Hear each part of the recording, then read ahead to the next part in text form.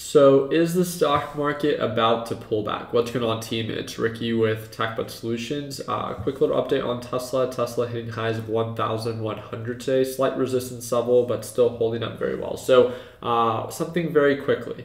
Um, one of the things that I've began to notice, and you guys can let me know in the comment section, is that a lot of companies, of course, were, were in earnings season, meaning that a lot of these different companies are reporting earnings. Uh, and a lot of them especially tech related earnings, uh, are in the red, right? Um, I wanted to show you a series of these different examples and how I came across them uh, and what I'm kind of seeing from them. So one of the first things that I like to do, first off, this is the Webull trading platform. If you guys want to download it, it's in the description. Uh, you guys can earn two free stocks by using the uh, link down below. But you guys go to this markets tab, and one thing that's very useful is this is the earnings calendar. Uh, visually, you know, you don't really see much going on there, but one of the things that you can do is any day that you want to see what stock is about to report earnings, you can just select on the date. So one of the routines that I have on doing a question you guys uh, have had for me in the comment section is like, how do I always know when a stock is oversold? You know, what scanner am I using? Anything like that, right? I'm not using any of that. Uh, what I'm mainly focusing on are, you know, waiting for stocks to report earnings and I look at the day after, right? Because some stocks report earnings pre-market, some stocks report uh, earnings after market. So I just look at the day after, right? So the 28th, right? Today's the 29th. I look at the 28th and then it provides me with a list of all the stocks that reported earnings yesterday. So everything has already reacted to those earnings. So what I do is I just do it a quick little double click and then Webull actually generates this whole watch list. I don't need to look at all of them. I really just care for about five to 10 of them. Uh, but what this really allows me to do is quickly be able to break down and look through all the different stocks that reported earnings yesterday and see if it caused the stock to go up and or if it caused the stock to go down.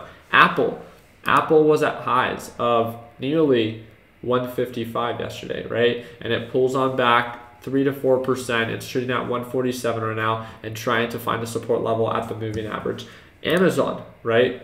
1.68 trillion market cap.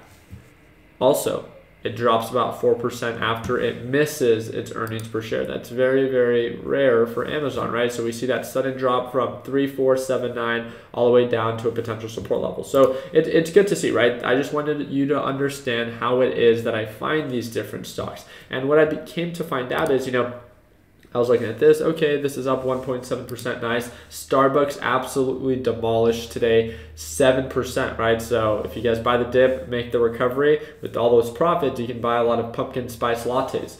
Uh, but also MasterCard. MasterCard with a drop that it had and then it begins to recover. Uh, but the really great thing about this is, yeah, it's great to be able to like come across stocks that are on the oversold side. But then what I began to ask myself is, you know, there are a lot of tech stocks, a lot of stocks that I'm paying attention to that are missing their earnings, right? We saw Snapchat, we saw Facebook, we saw, um, you know, Twitter, all Pinterest, all these different stocks just absolutely drop after earnings. And then what I began to look at is, you know, all of us were waiting for the market to recover. How many of you took time to see where the market's at right now? That's all this video is about, right? Look at the NASDAQ market. So the NASDAQ market is a composite of a really big focus of, it's a NASDAQ index, right? So has a big focus on tech. We are already at highs, meaning that not only have we recovered, but we made new highs based off of previous highs. So this is the four hour time frame.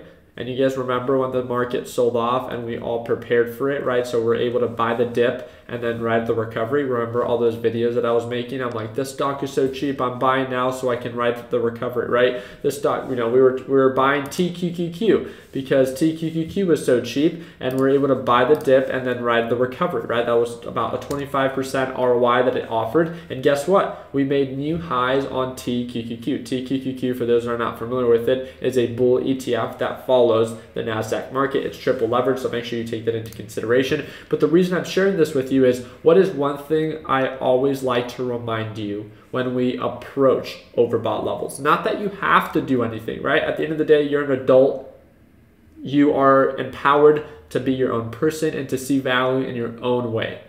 But it is important to understand where you currently stand. Now it makes sense why certain stocks might be pulling on back. And it makes sense why, if these companies continue to report negative earnings, and based off of how overbought we are, we could pull right on back to previous lows. It doesn't mean that we're going to crash. And again, I know, um, you know, people tend to freak out when the market tends to crash. But one of the things that you need to understand is that these pullbacks are great. It's where a lot of money is made, right? How amazing was it to be able to ride the recovery on a lot of the different stocks that you were invested in? That's the whole point, right? We're all my TQQQ people, right? there's not much margin for us up here when we're already at previous highs. So yeah, we can make new highs, but how much are we going to increase before we drop right back down? And if anything, it's really nice to see a stock correct itself to some degree so you can buy it for a better deal and ride for the recovery. So all I'm sharing with you is I want you to be aware of where the current market is at right now. And not just the NASDAQ market, but you can look at the, I think it's the S Dow, which is the Dow Jones, right? So let's go ahead and look at that. So this is the S, uh, this is the inverse. So it's the U Dow, my apologies. So the U Dow is the one that's going to be the bullish right. Um, and you can see that, again, that is at you know previous highs and then SPY which is the S&P 500 which is also uh, a really big index that's very popular right? Uh, the S&P 500 index is at overall highs. So we got the SPY which is S&P 500 we got the UDOW that's at new highs. And then we got the IXIC, which is the NASDAQ index that's also at previous highs. So I wanted to show you why I'm bringing this up and for you to make sense of it as however you please. If you want to continue to hold, all power to you. You're an adult, right? If you want to begin to reduce your position size to prepare for a pullback, that's on you, right? And or if you want to continue to load up because you think the market's going to go higher, then great. I just want to make sure that I did my part in reminding you of where the current market is at and why, based off of previous resistance levels, we can get potentially rejected. There is no confirmation of a rejection. We are simply just no longer a good deal when it comes down to these indexes the S&P 500, the Dow Jones, and uh, the NASDAQ market. So I wanted to do my part sharing that with you. I wanted to show you uh, how I come across these oversold stocks and how you can make sense of it. So I hope that I earned your thumbs up. Please consider subscribing. We're almost at 1 million subscribers uh, and I'm thinking about doing a giveaway. So uh, I guess you'll just have to wait and see when it comes down to that. So uh, like always, let's make sure that we end the year on a green note. Take it to your team.